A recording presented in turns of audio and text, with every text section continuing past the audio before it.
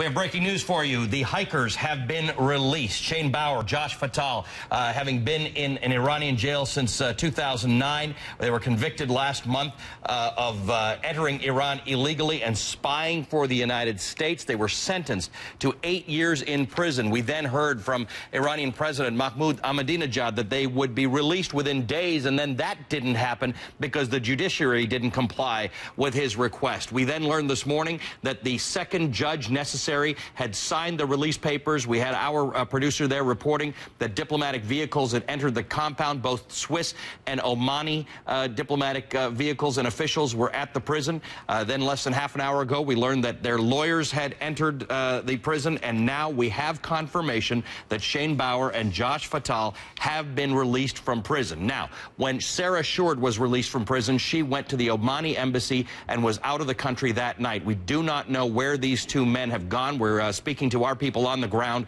to try and establish where they've gone uh, and where they will be going from here, whether they'll be returning to the States immediately. But what we know now, we can confirm for you that Shane Bauer and Josh Fattal have been released from an Iranian prison. Or Sarah Shourd was their traveling companion who That's was correct. released on medical grounds uh, last year, on bail last year. That's right. Uh, but, of course, she did not return to the country.